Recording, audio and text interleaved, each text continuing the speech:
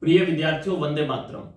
आज होली है आपको और आपके पूरे परिवार को होली की ढेर सारी शुभकामनाएँ। होली को मैं एक ऐसे पर्व के रूप में देखता हूँ जो श्रद्धा का पर्व है, भक्ति का पर्व है, नैतिकता का पर्व है। इस कथा से हम सभी वाकिफ हैं कि भक्त प्रहलाद भगवान विष्णु के परम भक्त थे।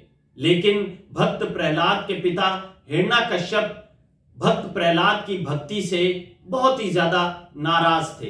इसीलिए उन्होंने भक्त प्रहलाद की भक्ति और श्रद्धा को अपनी अनीति के माध्यम से बाधित करने का प्रयास किया।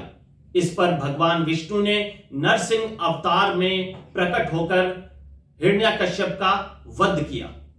अगर कोई विद्यार्थी अपने जीवन में सफलता प्राप्त करना चाहता है तो उसे श्रद्धा, भक्ति और नैतिकता के मार्ग पर चलना होगा।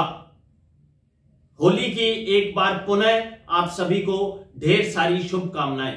इसके साथ ही मैं माँ सरस्वती से इस बात की कामना करता हूँ कि जल्द ही वो होली आए, जबकि आप सरकारी सेवा में हो, एक प्रतिष्ठित पद पर आसीन हो और राष्ट्र की उन्नति में बहुत ही क्रियाशील तरीके से अपना योगदान दे रहे हो।